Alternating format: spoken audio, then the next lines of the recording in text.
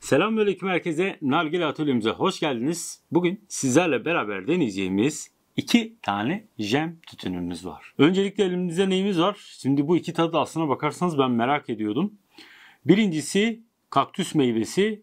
Bu etrafı çok ince dikenler olan, orta tarafı da bayağı çekirdekli güzel bir meyvedir. Daha önce yediğim ve bildiğim bir şey. Yani biraz freshlik katılmış bir çilek aroması var. Şahsen kaliteli bir çilek aromasını her zaman severim ve birçok karışımda birçok şeyde de güzel gittiğini iyi biliyorum.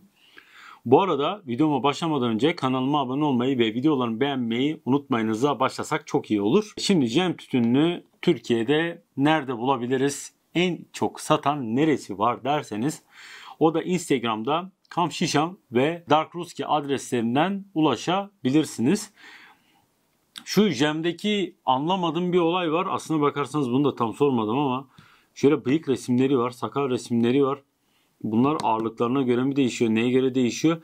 Neyse ben bunu araştırmadığım için bu kendi ayıbım oldu. Size anlatamıyorum ama böyle bir durum var. Kutuların sağını solunu çok inceleyemeyeceğim. Her tarafında Rusça yazıyor. Hatta İngilizce bile jem yazısı hariç İngilizce hiçbir şey yok zaten. Bir de 50 gram olduğunu belirten bir yazı var. Hemen ne yapıyoruz? Tabii ki gramaj ölçümünü yapacağız. Şöyle bırakalım. 76 78 bir 2 gram arada oynayabilir ama anladığım kadarıyla adımlar fazlasını koyuyorlar eksini koymuyorlar. Yani dış kabını falan da düşündüğünüz zaman helal olsun 50 gram diyorsa adam 50 gram bırakıyor. Bu tarz şeyler benim için önemli her zaman da söylüyorum bunu. Bu arada deneme olarak yani mesela ben size anlatıyorum ya tütünü beğenebilirsiniz beğenmeyebilirsiniz. Yani e, o tabii ki damak zevkidir. Ben size anlattığım zaman denemek istiyorsanız bu tarz 50 gramlık gerçekten hani alıp kullanmak için çok iyi oluyor bir deneme amacıyla. Sonra beğendiysen git 200 gramlı 250 gramlığını al. Bunlar tütün değil. Her seferinde dilimiz artık alıştığı için tütün demeye e, tütün diyoruz ama bunlar bitki liflerinden üretilmiş, aroma verilmiş ve gliserin, aroma bu tarz şeylerle e, ve yapay nikotin de var içinde onu da söyleyeyim. Yapay nikotin var, sıvı nikotin var. Bu şekilde e, hazırlanmış bir bitki ya. Yani tütün de bir bitki sonuçta. Ağzımız almış hep tütün, tütün diyoruz biz bunlara. Ya bu arada inşallah çileği çok kaliteli bir güzel bir şeydir. Bakalım. Şeye benziyor ya kokusu. Biraz çilek reçeline benziyor. Ha, ya Rusların belli bir çilek tadı var tamam mı? Yani birçok çilekte de bu geliyor. Başka markalarda da ben gördüm bunu.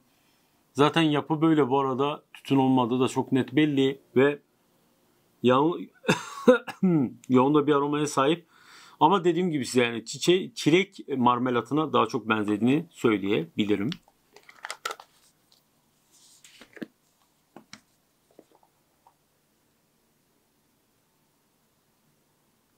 Çok yoğun bir kokusu olduğunu söyleyebilirim. Açar açmaz. Koku birazcık daha dağıldı. Hı. Biraz değişik bir kokusu var. Ee, Tabi aynen ya. Valla meyvenin kokusunu alabiliyorsunuz ya. Ay, Jem bu konuda yapıyor bence. Yani Jem aroma konusunda bence iyi bir firma olduğunu söyleyebilirim. Gördüğünüz gibi tütün değil bu. Tütün değil, kesinlikle değil. Konumuzla beraber iki farklı aromayı yorumlayalım. Hadi bakalım. Geldik fesleğenli çilek ve kaktüs meyvesini denemeye. Öncelikle hoş geldin. Merhabalar, hoş bulduk. Çilek fesleğen bende duruyor. Ben onu seçmiştim ilk başta. Çünkü bu arkadaş dedi ki ben dedi e, kaktüs meyvesinin tadı nasıl olur dedi nargilede merak ediyorum. Merakını yenecek misin? Mutlaka yeneceğimden eminim onun için seçtim. Hadi hayırlısı başlayalım mı bakmaya tadına? Başlayalım.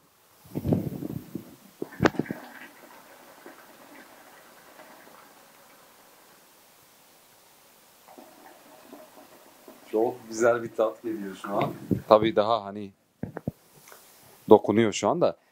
Çok böyle hafif bir ekşimtıraklık bir e, tat alıyorum şu an. Hani tabii Daha açılacak şey olacak da. Tabii bismillah daha ilk çekişinde bu kadar yorum yapabildiysen hayırlısı artık daha devamında.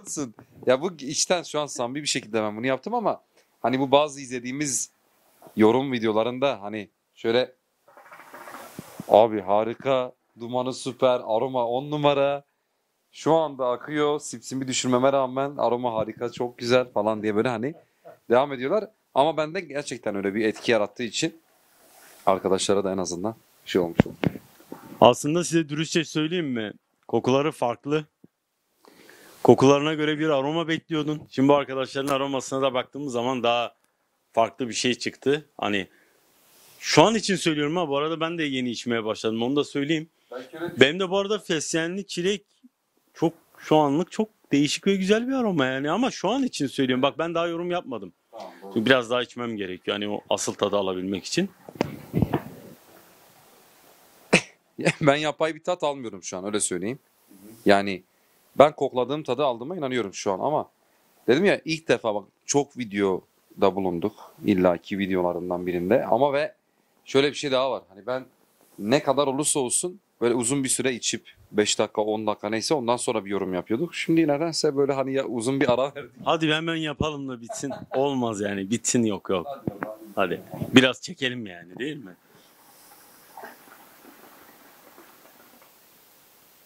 Bu arada sırf e, iki farklı setupta yapabilmek için bir tanesini e, yine ikisini de Delikli'de yaptım onu söyleyeyim. Çünkü Delikli'de en güzel aromanın bu şekilde geldiğine inanıyorum.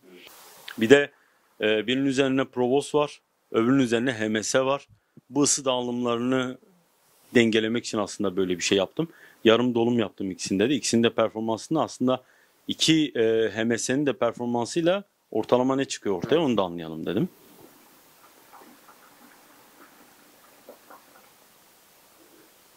Bu arada ben de çilek marmelatı tadında bir tat alıyorum ki zaten bu Rusların yaptığı çileklilerin hepsinde ortalama benzer bir tat alıyorum. Şimdi e, ülkelere giden aromalar ne bilmiyorum ama atıyorum mesela Türkiye'deki cappuccino aromaların hepsi aynı.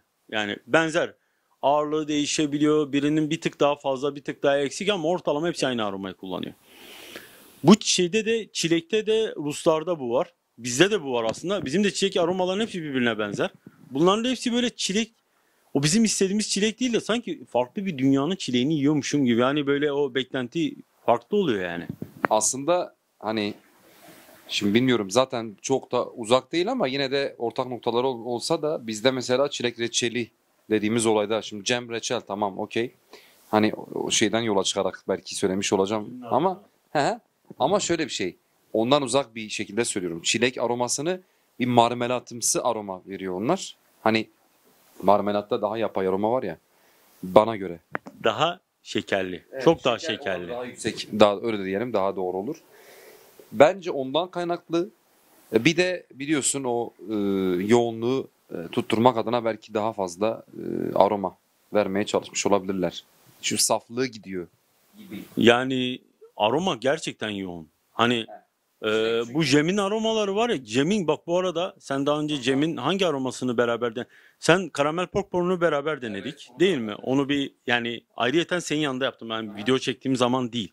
Ayrıyeten senin yanında da yaptım. yaptık biliyor musun? Ee, Station'ın bu ç- çekiminde yapmıştım. Evet bakın mesela e, orada hangi aroma içtiğimi söylemiyordum ama oradaki duman karamel popcorn'a ait. Cem'in karamel popcorn'a ait o zaman onu yapmıştım ben. E, hatta o yüksek dumanı çıkartmak için bayağı bir e, efor sarf ediyorsunuz yani ciddi bir efor sarf ettim. Benden sonra kimse içememişti. O derece bir efor sarf ediyorsunuz. Bunlar da böyle hani e, video çektiğimiz zaman bazı şeylerin mecburi oluyor. Yani şu an değil de şu an içiyoruz yani. Şu an zevkini çıkartıyoruz video çekmek için değil. Ama takım videosunda biraz mecburiyete bindi iş yani yalan değil. Ya şimdi o performansı göstermek adına illaki bu çekimin aslında içinde bulunan olması gerekenler falan olur ya. Bu da ondan biri aslında. Ee, ama hemen hemen ortalama zaten biz içtiğimiz setuplarda falan bu e, dumanı, bu aromayı tütünden tütüne kesinlikle değişiyor o ayrı bir şey. Hemen hemen alıyoruz zaten. Ee, çilekle ilgili şunu söyleyeceğim. Evet şu an aromanı şey aromanın kokusu bana geliyor, iyi geliyor. Hatta burnumun biri tıkalı şu an ama Yine de iyi geliyor. Bir de şöyle bir şey var. Abi ben çilek içtiğim zaman öksürmeye başlıyorum. Öksürteyim mi seni? Evet. Hadi bir deneyelim. Ya bir şey olayı var. Ee, nedense çilek karpuz furyasından biriyim ben. Yani ona kapılmışlardan biriyim. Şöyle. Yani o e, dönemlerden gelen biriyim. Ki halen de hani içiyoruz ara ara. Ama çilek enteresan bir şekilde direkt boğaza mı yapışıyor? Ne oluyorsa bende onu yapıyor.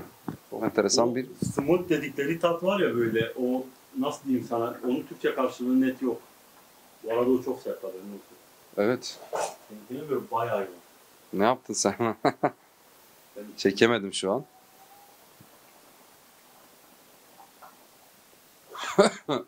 işte bu.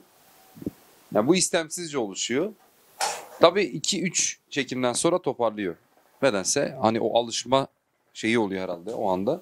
Her çilek aromasını içtiğimde diyebilirim. Şimdi bir benzetme yapacağım. Geliyor. Bak biz seni benzetmelerin için çağırdık tamam mı? Yani hocanın yaptığı benzetme, Kasım hocanın yaptığı benzetmeler için özellikle onu çağırdık. Benden daha iyi benzetme yapıyor. Yalan değil yani. Estağfurullah. Geliyor. Bu damakta şu e, aromayı bırakıyor. Reyhan şerbeti bilir misin? Bilirim. Çok iyi bilirim. Diyarbakır'da da çok böyle hani evlerde falan yapılır reyhan şerbeti. Reyhan bitkisini duymuşsunuzdur. Koyu kırmızı hatta böyle şeye tabii ki yani bitki belki de çok şey olmaz. Ama reyhan çiçeği falan hani saksılarda çoktan Evet, böyle evet, evet, evet. beslenir ya. Şimdi e, o şerbetteki o şerbetteki bir aromayı alıyorum. Çilek zaten var da ama o böyle altta şey damağımın arkasında kalıyor. Nedense. Yani o şeyi fesleğen var içinde de o fesleğen hissedilebiliyor. Farkındasın değil mi? Fesleğen olarak alıyorum tamam ama o aromayı da böyle estirmiş sanki. Böyle bir esintisi var gibi fesleğeni alıyorum. Yani şu anda şu anda aromalar gayet güzel bir şekilde geliyor. Asıl biz aroma yol- yani yorumunu bence birazcık içelim öyle yapalım ya. Kesinlikle öyle yapalım. Evet birazcık içelim ondan sonra gelip aromaları Aynen. tekrar anlatalım. Hadi bakalım. Kaç dakika oldu?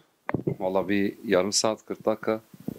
Daha fazla da olabilir. Bence daha fazla oldu. Evet. Bir saate yakın oldu herhalde ya. Saate yakındır içiyoruz. Yani ortalama bir 50 dakika diyebiliriz. Evet. Şimdi şöyle söyleyeceğim ilk başta size. Ee, lüleyi gösterecektim nasıl doldurduğumla ilgili onu bir göstereyim. Bakın lüle dolumu ne şekilde duruyor gördünüz. Yani şeyden bir tık daha e, orta seviyeden bir tık daha fazla. Evet. Yani full doldurmadım. Tabii.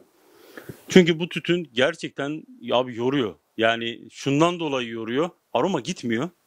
Tamam mı? Aroma aynı şekilde yoğun. Bilmiyorum tabii şimdi senin düşüncelerini de alacağım ben bu konuda. Ama bence aroması çok fazla yoğun ve çok uzun süre gidiyor. Gerçekten içimi baya baya uzun süre gidiyor. Ha şöyle bir şey var. Ee, ilk içtiğimizden şu ana kadar da aroma aynı. Yani aromada bir küçük bir değişiklik bile yok. Sadece bir ara hani köz azalttık falan hani ona göre bir dengeleme, ısı dengesini yakalama dediğimiz olay var ya. Sen onu yapmaya çalıştın doğrudur. Asansörde bu zaten daha kolay bir durum ki asansöre bayılıyorum bu konuda. Ee, duman yoğunluğu da çok değişmedi bence. Hani çok düşmedi öyle diyebilirim. Tabii şimdi yine sen de yorumlayacaksın onu. Ee, aromada bir e, farklılık görmedim ben. Aroma yine ben bende de senin e, nargileni tütünü de denediğim zaman yine aynı şekilde aroma aynıydı. Halen de aynı.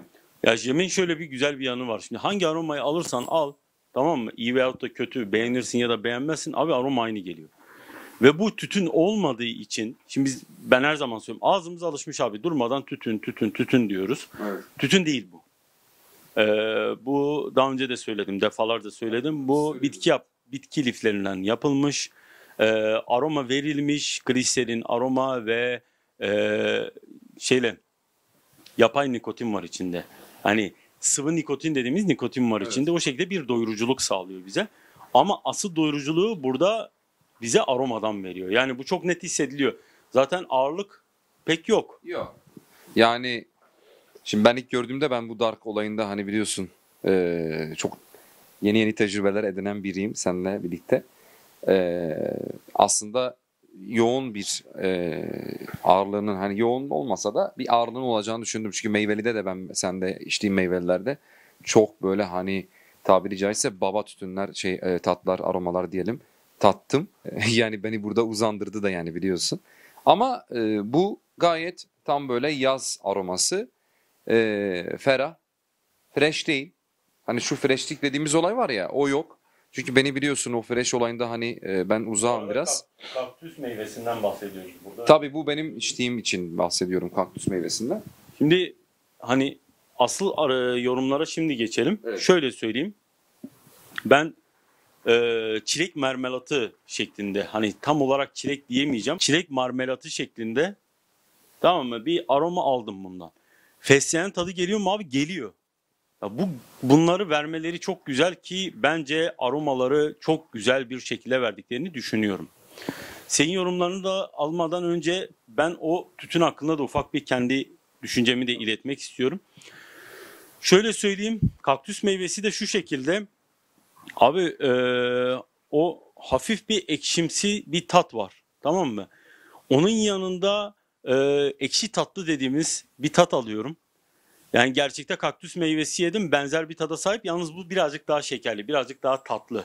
Yani normal kaktüs meyvesine göre bir tık daha fazla tatlı. Bence çok keyifli bir içim olduğunu söyleyebilirim. Özellikle de kaktüs meyvesi için. Ha bunun için içimi söylediğim zaman da bu da gerçekten çok keyifli. Yalnız o bizim bildiğimiz çilek var ya onu birazcık daha istediğimiz için o çilek mermelatı birazcık daha şey yapmış. Hani çok fazla tatlandırdığı için daha garip gelmiş. Yani daha değişik gelmiş ama kötü değil bak bu kötü değil. Bak, Onu bir ayıralım yani. Bir senin yorumlarını almak istiyorum. Şekerli bir aroma aslında daha çok önde seninkinde. Ben e, şöyle söyleyeyim. Şimdi kaktüs meyvesini daha önce bir kez çok böyle zaman girdi araya denedim. Yani e, tam olarak adını şey tadını böyle tam olarak hani evet ha bu benim işte yediğim tadını e, tadına baktığım meyveden diyemesem de ama e, senin de yorumlarınla burada kendisinin de vermek istediği aromanın da hani o şeyine vardım. Şimdi o ekşimtıraklık var. Yine damakta bırakıyor ve e, çok hafif, rahat bir içime sahip. Hiç rahatsız etmiyor. Üst üste çekim alabiliyorsunuz. Çünkü bazı e, aromalar var.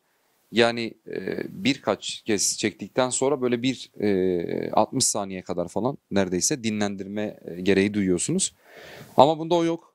Bu böyle muhabbet arasında o anda hani e, tabii delice değil de hani ama yine de böyle üst üste çekim sağlamanızda bir sıkıntı oluşturmuyor. Ve e, aromayı gerçekten güzel bir e, oranda veriyor. Abi o zaman bir puanlamaya geçelim mi? Evet. İkimizin ortasında bir puanlama cetvelimizi açalım. İlk başta ben tabii ki içtiğim bu fesleğenli çilek aromasına puan vermek istiyorum. Aromasal olarak zaten açıkladığımız gibi yani o beklentilerimizi karşılıyor mu? Değişik bir aroma olduğu için birazcık farklı gelebiliyor ama bence aromayı çok güzel bir şekilde vermişler. Kesinlikle. Onun için de 7 vermek istiyorum. Yoğun bir aromaya sahip.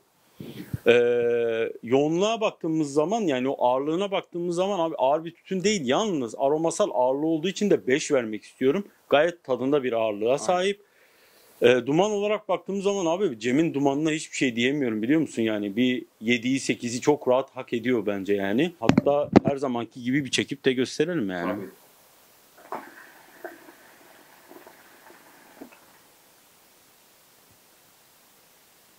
Bayağı bir dumana sahip.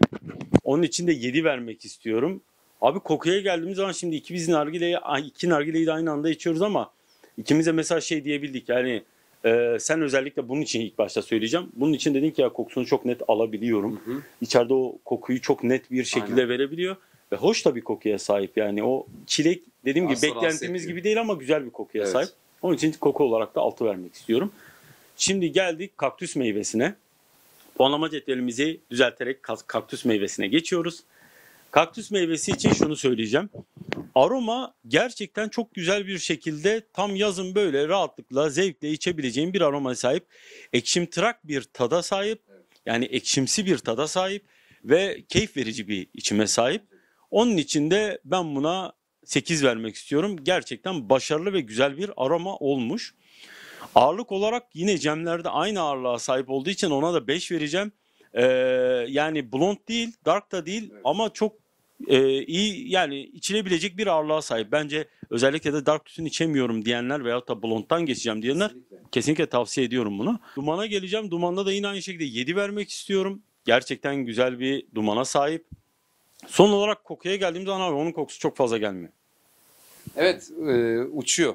Yani damakta var ama çabuk uçuyor aroma. E, sanırım sadece damakta alınması üzere.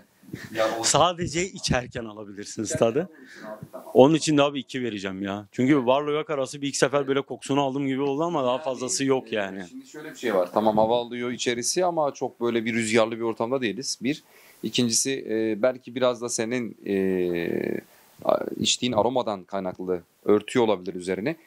E, ve ne kadar da olsa tabii ki yoğunluğunu gösterebilirdi. E, damakta var ama e, havada bıraktığı koku o e, şeyi alamıyoruz. Abi şimdi ufak bir toparlayacak olursak bence iki aroma da gayet güzel bir şekilde içilebiliyor. Hani eee, bu arada ben normalde çok böyle şeylerin tavsiyesini vermem ama bu fesleğenli çilek aromasını karışımlarda o çilek tadı birazcık ya baskın bir aroma. O çilek tadı biraz farklı bir şekilde geleceği için buna çok dikkat ederek kullanın eğer kullanmak istiyorsanız. Eee, ama senin içtiğin aroma karışımlarda daha yakışacak bir aroma. O eee, şey tadı hani ağza bıraktığı hoş tat gerçekten karışımlarda hafif mesela tatlı tatların yanına hafif koyduğun zaman e, o ekşimsi tadıyla güzel bir dengeleyebilir yani. sağlayacaktır ve e, hani hem diğer aromayı örtmeyecektir. Kapatmaz yani o aromanın üstünü. Hem de çok farklı bir tat elde edebilirsiniz. Ben Bak aklıma ne geldi biliyor musun? Aslında ben bundan aldığım yani son olarak söyleyeceğim şeylerden biri bu. Aslında bence ben bundan aldığım en gerçek tatlardan bir tanesi abi kiwiye benzer bir tat aldım. doğrudur. Doğrudur. Çünkü hani e, bilmiyorum hani öyle söyleyebilir miyiz? de? Kivili Aynı smoothie. grupta- o smoothie'ler var ya aynen öyle. E, o grupta incelenecek aromalardan biri bence. Yani o Bence de. tatlı, özellikle o ön plana çıkan. Çünkü biliyorsunuz Kiwi'de o e, verilen o şey var. Yani zaten şu an ağzım sulandı biraz. Ama e, dediğin gibi güzel bir tespit bence. Yani bana o kivili smoothie tadını verdi yani. Fazlasıyla verdi. Bayağı da hoşuma gitti. Yani bir, bir tık daha tatlı sadece ona göre. Evet. Neyse abi çok uzattık. Evet. Bayağı bir konuştuk çünkü iki tane aromayı aynı anda deniyoruz. Onun için birazcık uzun bir video oldu. Ee, Tekrardan bizi izlediğiniz için çok teşekkür ederim. Ayağına sağlık, ağzına sağlık diyelim. Çok sağ ol. Bir sonraki videolarımızda da beraber böyle sohbet eşliğinde güzel videolar çekeriz. Kendinize iyi bakın. Görüşmek üzere diyorum. Hadi eyvallah.